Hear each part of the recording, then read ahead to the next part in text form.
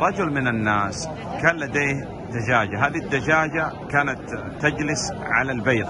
Il y avait un homme qui avait euh, des poulets et tous ces poulets-là euh, étaient assis sur des œufs. وأدخل مع هذا البيض بيضة واحدة لحيوان يعيش في البحر كالبط أو الأوز مثلا Il a rentré dans, dans, dans le lieu où il y avait les œufs, il, est- il lui a rentré, il, il- il a rentré dedans un œuf d'un animal qui vit dans l'eau, que ce soit un cygne ou un autre. عندما خرجت الأفراخ من البيض Lorsque les œufs ont éclos, كل الأفراخ توجهت إلى الزرع tous les oiseaux sont partis dans le pâturage. إلا هذه البيضة التي خرجت اللي أدخلها هو من ال- الحيوان البحري ذهبت إلى الماء Sauf l'œuf